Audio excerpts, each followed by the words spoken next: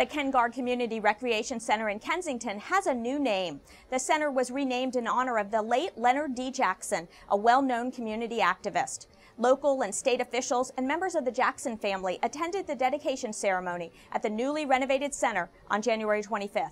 Jackson was a founding member of the Ken Gar Civic Association and served as its president for more than 20 years. The center is managed by the county's Department of Recreation, which plans to develop an after-school and summer program, as well as senior activities for members of the Ken Gar community. It's located at 4111 Plyers Mill Road.